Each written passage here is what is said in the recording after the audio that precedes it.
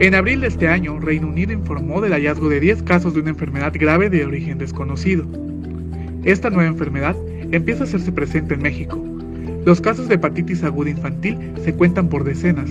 Afortunadamente nuestro estado no se ha presentado alguno. Actualmente no se tiene ningún registro de que se haya presentado casos relacionados con hepatitis aquí en el estado de Chiapas.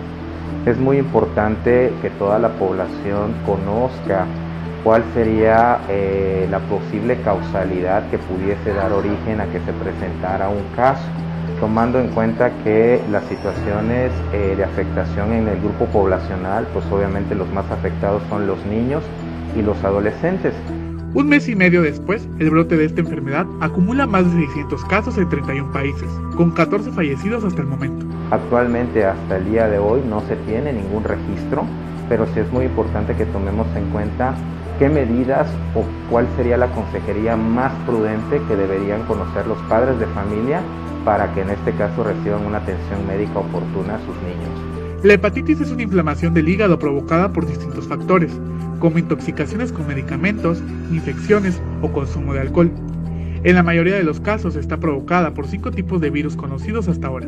Normalmente se transmiten por alimentos contaminados, eh, lo que nosotros llamamos también ano mano boca, y en este caso también es muy importante que tomemos en cuenta que aunque no se tiene todavía establecida la causa por el cual se dice que todo es por un adenovirus, eh, y en este caso, por ejemplo, eh, a lo mejor muy posiblemente eh, se tenga por ahí contemplado un vehículo de transmisión totalmente diferente al que ahora sí como se dice conocemos. Entonces aquí la parte importante es que, como te mencionaba, los padres deben de conocer la sintomatología. Los síntomas característicos de esta enfermedad son fiebre, diarrea, náuseas, vómito, dolor abdominal, pérdida de apetito y malestar general. Si tú notas que tu hijo tiene una coloración amarillenta de la piel, los ojos están amarillos, en este caso prácticamente la coloración de la orina se convierte en una orina amarilla oscura y las evacuaciones tienen una capa blanquecina, muy probablemente estemos hablando de un niño o un adolescente que tenga datos sugestivos de hepatitis. Aquí tendremos que hacer ese diagnóstico diferencial, aparte de lo clínico con laboratorio, para que nosotros tengamos ya el diagnóstico más certero, ¿no? Se recomienda extremar las medidas de prevención conocidas, en donde se transmiten a través del agua y alimentos contaminados, o al estar en contacto directo con una persona infectada.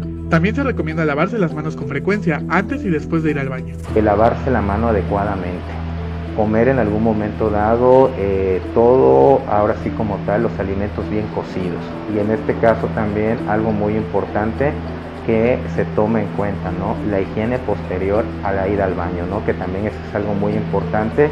Todas las verduras, las frutas bien lavadas, ahora sí como se dice, teniendo la, eh, la menos probabilidad de que esto sea uno de los vehículos de transmisión para el desencadenamiento de la enfermedad.